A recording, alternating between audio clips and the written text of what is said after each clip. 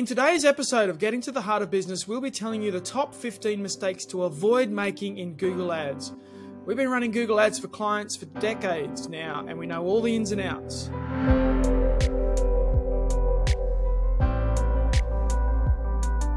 Welcome to Getting to the Heart of Business, brought to you by the Online Co, where we believe the best way to help small and medium businesses grow is by putting first. I'm James Parnwell. My co-host is Jess Caluso. G'day, Jess. Hey, James. How are you? Yeah, well, and we're joined by Heidi Jones, who is the manager of our SEM team. G'day, Heidi. Hi, James and Jess.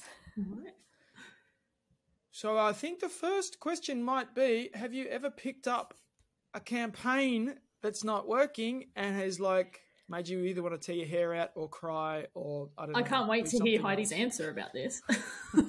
Uh, actually, yes. So we we've had a few campaigns that have come in where where they're not working, but one that comes to mind um, just recently has been a, a business in professional services, and their campaign was just built wrong right from the start. So had multiple issues with it and just wasn't working or looked like it was working but was really recording everything wrong. So there was no understanding of what was actually working. Um, so yeah, so we picked that up and obviously our years of experience fixed it up and now got it running really well. So yeah. Now, when we put this together, we just started finding issue after issue. I think we got 31 before we're like, hang on, this is too many. Uh, let's pick the top 15. Uh, so hopefully this is really helpful. How about we um, just get started on the 15, Jess? should we should we jump in? yeah, uh, let's just jump in. All right, let's start with number one. So the number one is having all keywords bunched together in the one ad group.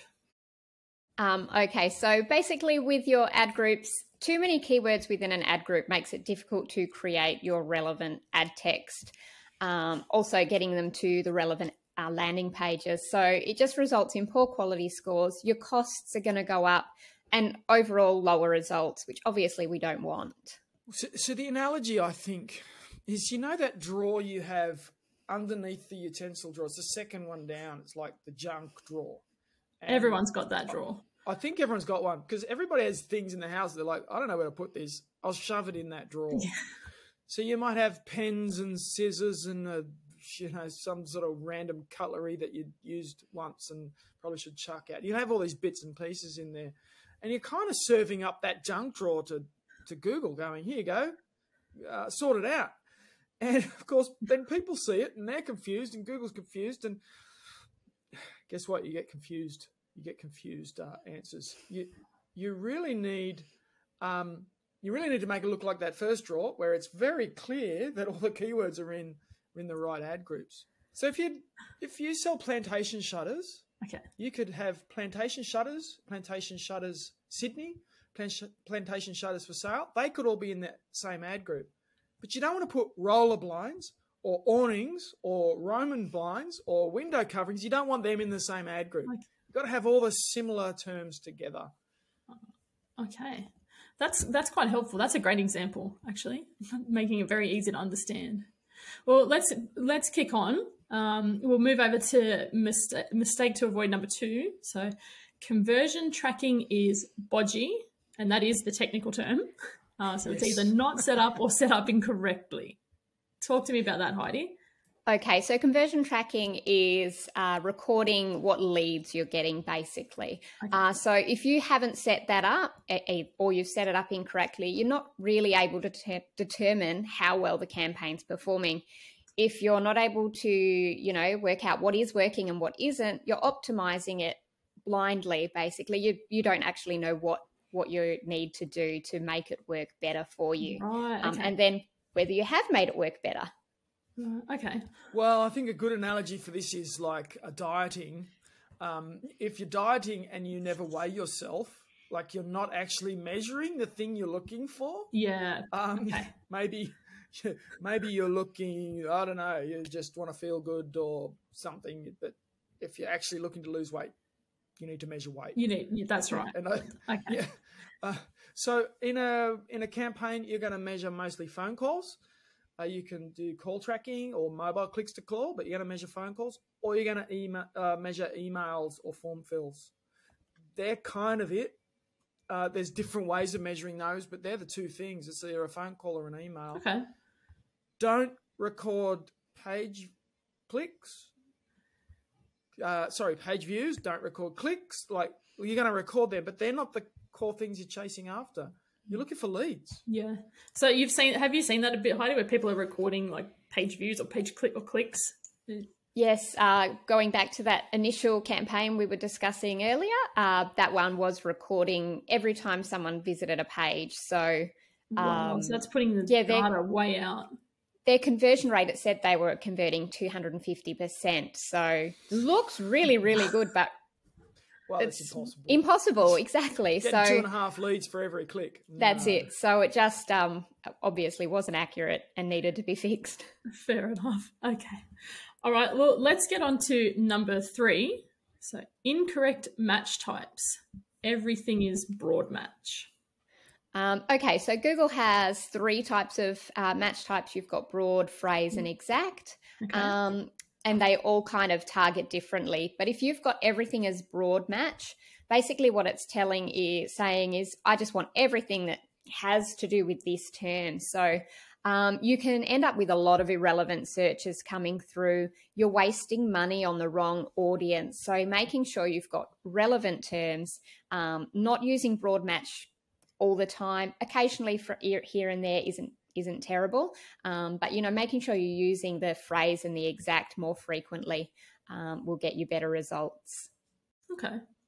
So an example might be, you know, if you sell shoes, you really don't want the term shoes in there because, like, there's so many different types of What shoes. type of shoes do you want? Well, then you can go men's shoes, but that's really broad too. it right? is, right? You probably want something like men's running shoes, men's basketball shoes, men's tennis shoes, men's cross trainers. Like you want to get You've got to get get a bit specific. more specific. Yeah. And if you use broad match and you put in men's tennis shoes, it's possible you get men's shoes, you get Mm. men's tennis, you get sort of variables. Google will spend your money if you let it. It'll it'll get you clicks on things that are not going to help your business. So match type's going to drill in. You get the right term, the right match type is going to drill in and give you the right Okay. Traffic. Good advice there. So we'll move on to number four. Now, I imagine that this one is a pretty common one. So, mistake to avoid number four is having a budget which is too small. Yes, so this one's fairly simple. Um, Yeah. if you've got too small budget, you're not going to get any clicks. So, um, you know, say a cost per click might cost, let's say five dollars. If your budget's only five dollars a day, you're likely only going to get one click a day. The likelihood that you're going to get leads is really low, or it's going to take ages to get that click. Um, so having a budget large enough to allow you to get results obviously is really important. So you need a volume of clicks in order to get a volume of conversions. So if you have 100 clicks, you might get five conversions, Yep. three or 10 or something like that. If you got 10 clicks, uh, you, you- may not have, you're kind of looking at maybe half a conversion, a conversion every second week or something like that. It's really like you're throwing a rock in a pond versus a rock in the ocean. You chuck this rock into this massive, big World Wide Web. This this little splash just doesn't make any difference. Um, so I, I guess the question would be for a small or medium business, where would you start? And we generally find about thirty dollars a day or nine hundred dollars a month is a good benchmark to get started. In most industries, not all, but in most industries, that's going to give you enough impact to get some leads, and then you can scale up from there. Obviously, you can spend a lot more in some industries, but uh, you want to be able to deal with those leads on the other end, and um, and you want to make sure it's working before you go and, and be investing lots more money. Yeah, absolutely.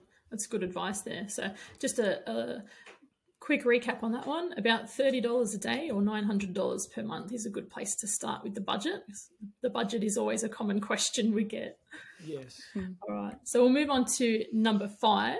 So, not using negative keywords. Can you explain that one a bit more, Heidi?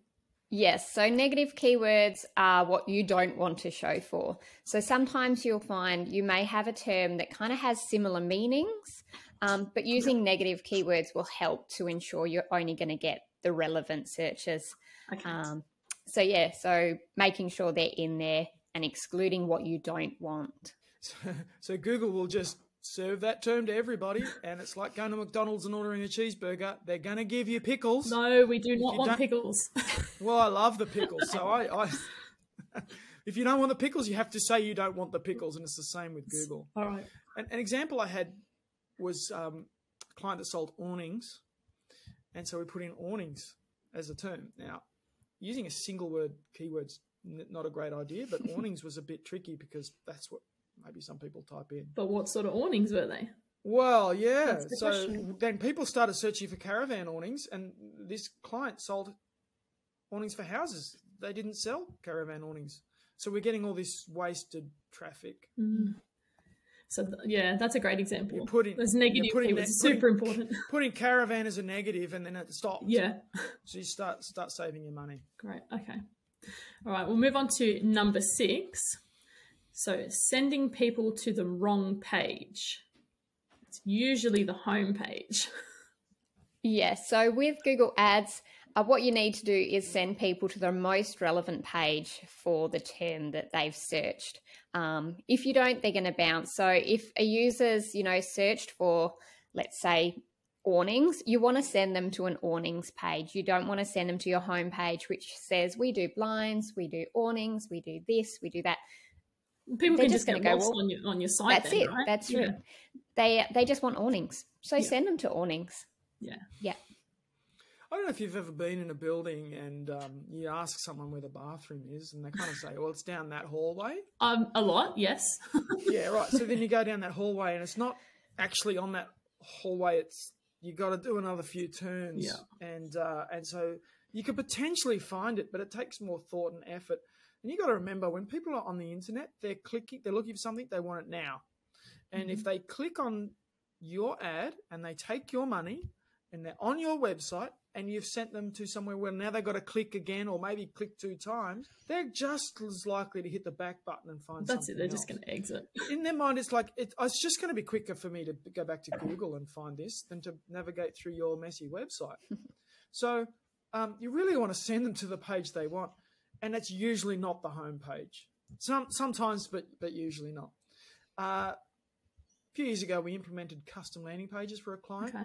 And overnight we saw a four times increase in leads. That quickly. Just say- you literally just sent them to a better landing page experience and saw a massive increase. I'd, I'd love to say we see that increase every time. That was a pretty awesome outcome, but we always see an increase. Like Yeah. sending them to the wrong page is just It just goes to show, people yeah, sending people to the right place, you get such better results. yeah. Okay, we'll move on to number seven using manual bidding strategies. Uh, I'd like you to explain this one, Heidi, because I know this one comes up a bit.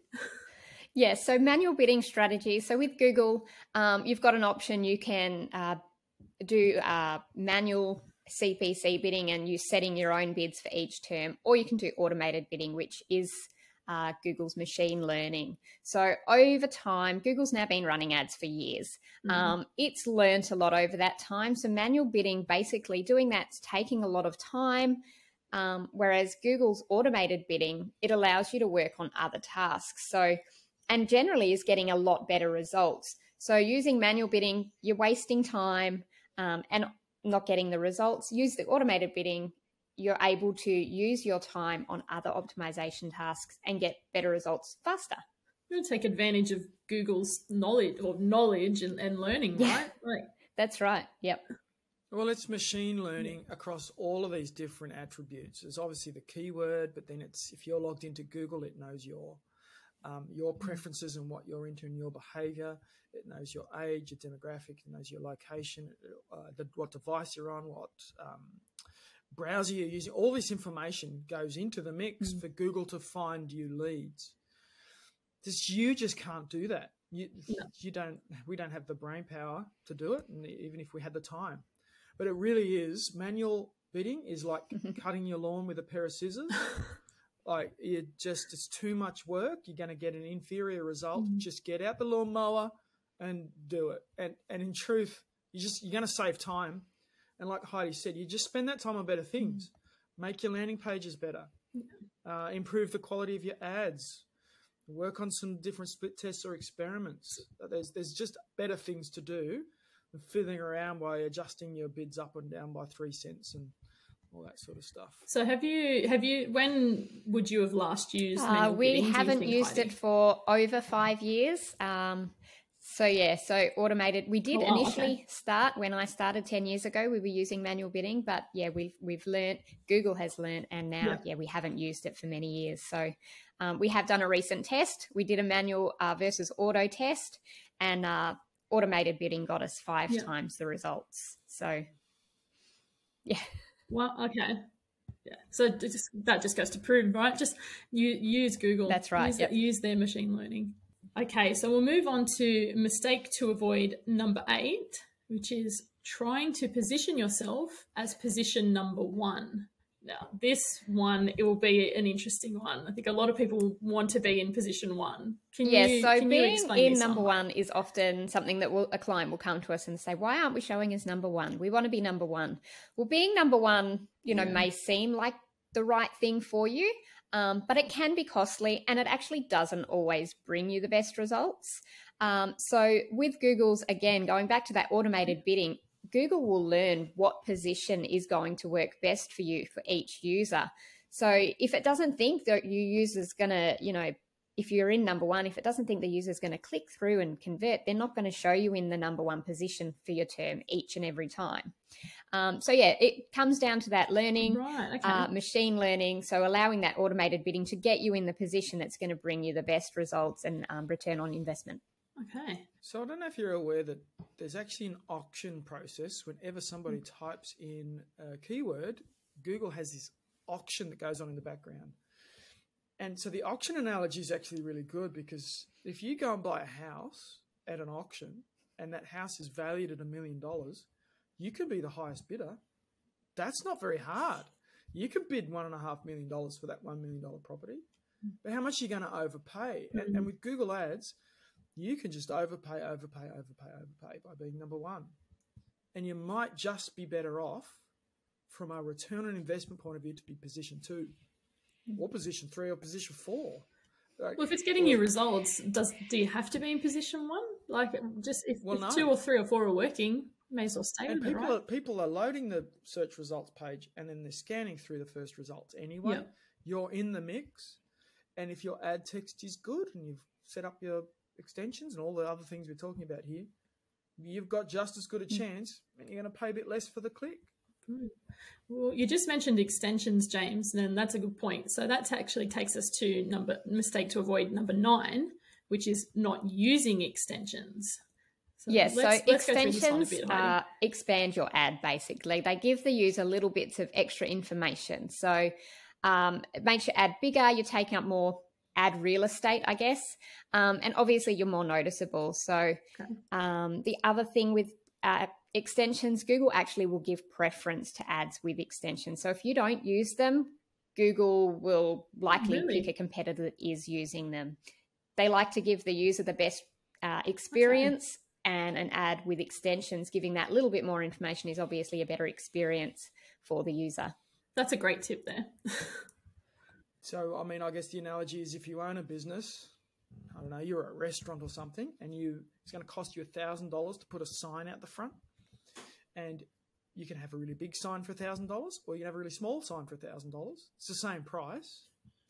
Um, you'll get the bigger sign, won't you? Yeah, you and, and this is what you're doing with an extensions. You're just making your ad bigger. It's taking more real estate on the search results page.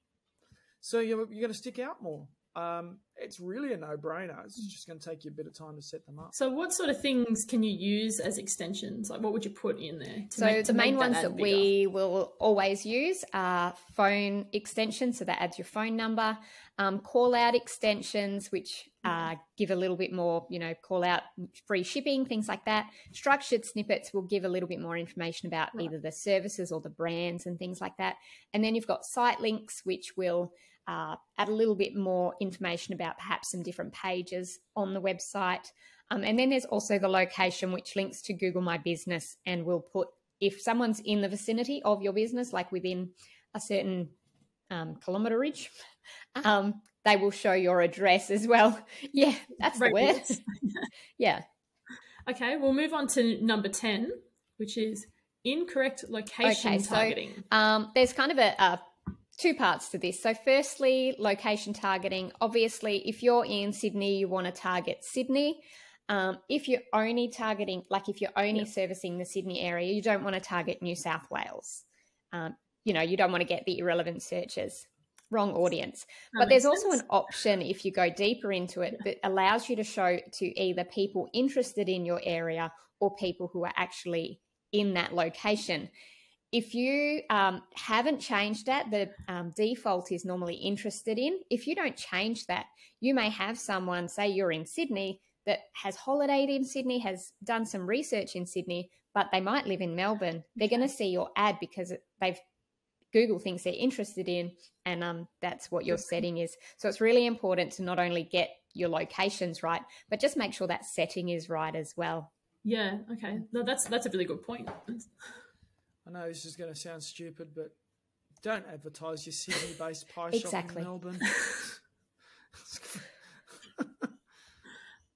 I don't. I don't know if it sounds. It's not stupid, but like it, it makes sense, right? Like Heidi said, if you visited somewhere and then you go back home, which might be a different state, you don't want yeah. to be seeing a ad for a pie shop that you go can't go to. Go and click that button.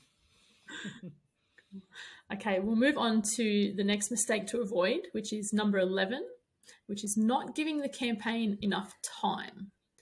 This is similar to the budget mm. one. This is something. Yeah, so this is this is quite a funny one. We will often get clients come to us and they're, you know, it's been a week. Why aren't we getting leads? Why haven't we seen this increase? And well, you know, it's always the same. Results will take time. Uh, regular optimizations are required. So, um, you know, we obviously we build the campaigns, we put all the keywords in, but we don't exactly know what's going to work until we start to get the results and we can start to optimize. And that optimization optimization takes time. So um, when marketing overall, you need to take like a 12 month strategic view. And with Google Ads, probably between mm. three to six months to be able to decide, yes, this is working and I'm getting good results. And then obviously you continue that process, you continue to optimize, you continue to look at what's working and the results will continue to improve over that uh, you know over time yeah so you're not saying you, you set it, set an ad up or a campaign up and let it run for three months without doing anything. You're of course watching it and, and as you said, making those optimizations That's right. that time. Yeah, but multiple That's times. it. give it that time. That's it to run. Yeah. Yeah, I, I think um, you really need to have that 12 month view mm-hmm. um, with your budget, uh, but with your mindset as well. Unfortunately, marketing is not like engineering. You don't just build a mm. car and then drive it. You uh, you really need to give the process time. We're dealing with people. Mm. Uh, we're dealing with technology. That's true, but then we're dealing with people, and people will respond in all sorts of different ways for different reasons. Um, it's possible that your messaging is not right or that you're targeting the wrong people. Yeah. It's possible there's been a worldwide pandemic and people aren't engaging with you as they used to. But there's all sorts of reasons why your marketing isn't working that are entirely legitimate and that are not Google Ads' fault. Mm. Um, they might be our assumptions' fault. Um, yeah, you've really just you, you've got to give it enough time, and three to six months is generally enough time to get a good sense for Google Ads. It's kind of like the the the analogy is if you don't give your cake enough time to cook, it'll sag in the middle. Nobody likes a saggy sponge cake. No one wants saggy right. marketing. no. All right, so we'll move on to the next mistake to avoid, which is number 12, which is too many optimizations too fast. And now this is a probably a, a, good one to roll on from the, the yes, last. Yes, I was just about to say that about. it's a good next next um, next one to talk about. So we were talking about doing optimizations. Uh, the problem is if you get a campaign and you run it for two weeks and then go, nothing's working, and you change five or six things, well, then you don't actually know what's working or or not. That's right. And it can go the opposite way as well. You can say, okay, well, I'm going to do this, this, and this, and this, and it may actually tank. what do you what's what's caused it you don't actually know so doing too many optimizations all at once is just not ideal um, so you need to kind of look at your your account figure out what's wrong come up with a hypothesis look at data make a plan review repeat and keep going through that process um, so it's like a, a cycle you find an issue fix it look at check that it works and then okay that has or hasn't let's try something else um, and that way you obviously you're going to get better results Yeah. So you just want to change, look at optimizing one thing at a time. So whether it's budget or whether it's the audience so in some way. there are certain things that you can do time, like so if you're reviewing your keywords and you can see multiple keywords aren't working we're not we're not going to say well you can only pause one at a time but i wouldn't pause 20 keywords and change change targeting and change something else um, yeah Yeah, you just want to be fairly structured and scientific in this Mm. in this process. Um, otherwise, yeah, you might fix it or break it, and you don't know why. There's all these things running. I um, I actually really like cooking curries. So when I cook a green curry, and I get to the end, and you do the taste test, um, it it even it's either not salty enough, not sweet enough, not spicy enough, or not sour enough. They're the four S's, and what you want to do is you taste it and you go, hmm, needs a bit more sour, and you put a bit of lime juice in there or something. What you don't do is go, hmm, it's not right. Tip in chili, lime, fish sauce, sugar, and bit then, of everything. yeah, then hope for the best. Just one at a time, taste.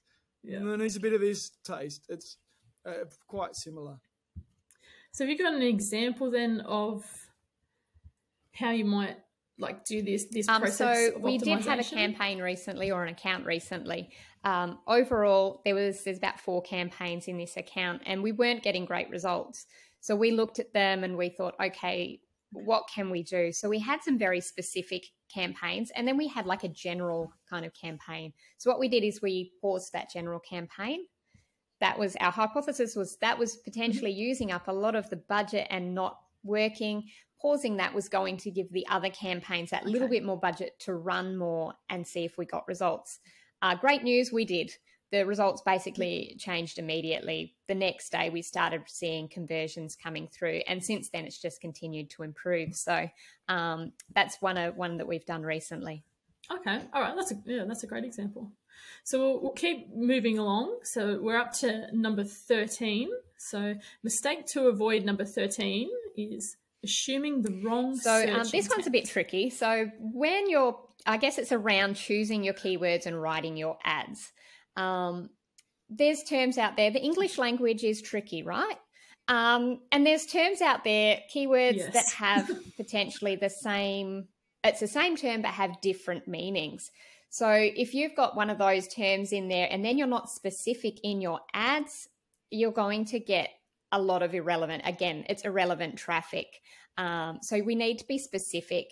Um, and again, it's staying away from those really broad terms. If you have a term that potentially is going to be have multiple meanings, is it really a necessary? Is it super relevant for you, or could you just skip that one and perhaps find those more specific Mm, that are the right search intent terms?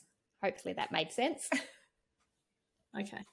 Yeah. What, Yeah, what- no, one ex- absolutely, absolutely. One example is that if you put in house painting, you're going to get all sorts of intent behind that. You might be looking for a company to paint the house, Mm, but you might also be looking for a painting for a house. We might be looking for a painting of a house. We might be looking for instructions for painting a house. There's four different things. Now, if you're a company that's painting a house, you do not want people clicking on your ad who are looking for a painting of a house no, absolutely not. you're literally tipping your money down the sink. So you, you want to say house painting company, for example. You just add that extra keyword. Yeah. So it's, I suppose you just really want to think a bit in, in depth about the intent of the person doing the searching and what hmm. what exactly you need to are think they like your looking lo- for. user. One, one really good thing to do is, Sorry, James. Yes. well, th- that's the truth, Heidi. We've always Yep. got to be thinking like the customer, not like ourselves. And that's difficult when you live and breathe your business uh, to get out of that head, head mindset into the customer's mindset. Mm. Um, I was just going to say, if you um, if you really want to test this, you, you type house painting into Google, and then you look at the search results, and, and that's going to tell you what Google thinks you're looking for. And if you come up with a lot of things that are not relevant to you, um, you might find a lot of ads for jobs in an area. I, I know I've seen this mm-hmm. before, or, um, or, or reviews or definitions. Um, example I think we had recently was speech pathology versus speech therapy. You type in speech mm. pathology, you get courses and, and, and definitions. You type in speech therapy, you get people that provide speech therapy. So if you right, okay. you put in one slightly different term, which is actually correct, it's actually a bit more correct. That's not what people are look, using to look for that service. Mm as you said, when you're in, in your business, sometimes it is hard to get out of that mindset of what is the user searching for. But yeah, just take, taking some time to think about that will, will make a hell of a difference in the results. But we'll, um, we'll keep going. So we're up to number 14, which is focusing on the wrong metrics.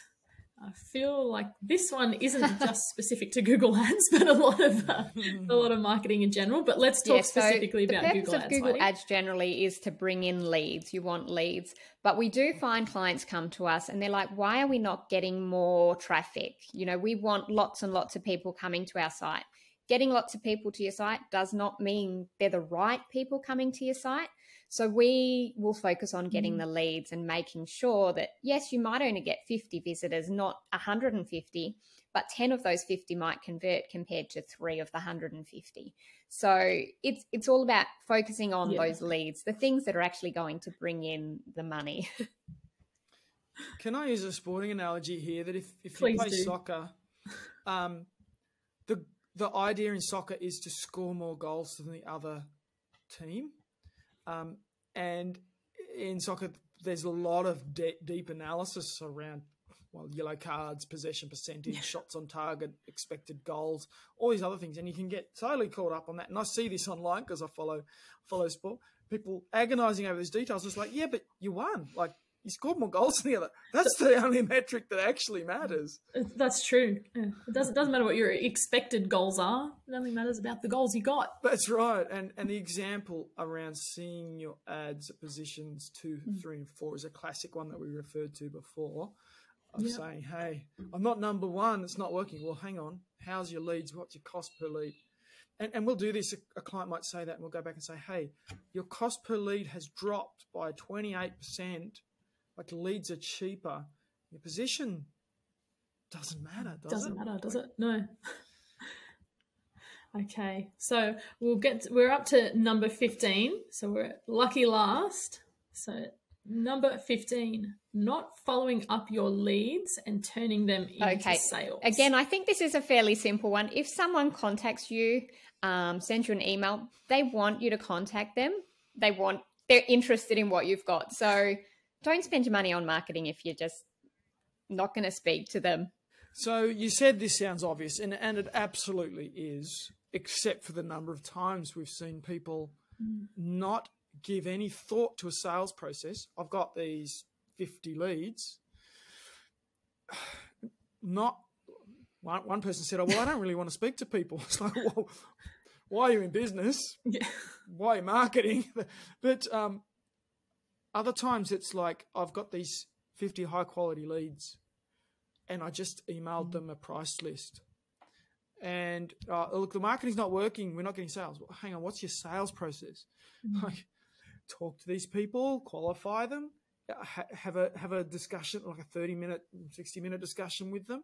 Take them through your like. If you have a sales process, you're going to turn these leads into into actual um, revenue, which is really the goal. So yeah, give that some thought, get some advice or coaching on it. Jess, can I do a bonus 16th tip or mistake, I should say? Oh, I, look, James, I, I think we've got enough time. We're, we're going to allow me that. I, will I okay. will allow you to. This maybe should be number one mistake. At least it's it's it's a, it's a frustration to us. Every client we've ever done Google Ads for contacts us and says, "I can't see my mm-hmm. ads." Yeah. this is a good bonus one. right. Now, there's a really good reason for that. We have spent the entire process targeting your customers. And since you are you your own business, you by definition aren't your customer. So when the campaign first starts, Google's algorithm doesn't know that. So you're going to type in a keyword. Um, what did we say? Men's basketball shoes. You're going to type your keyword in and you're going to see your ad and you go, terrific. I'm showing in position two.